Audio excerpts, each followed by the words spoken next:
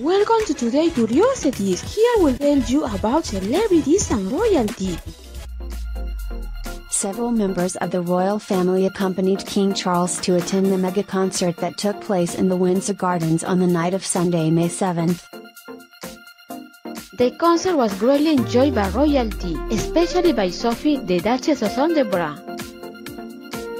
Nearly every time the camera panned to her in the royal box, Duchess Sophie could be seen singing and dancing along the show.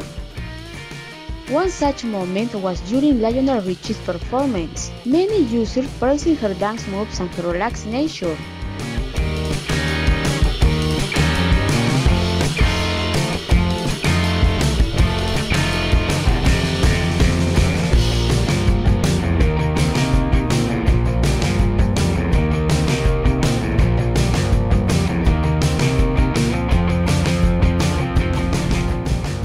If you like the video, give it a like and share it with everyone. If you are new to the channel, subscribe with notification as I continue to talk about these topics.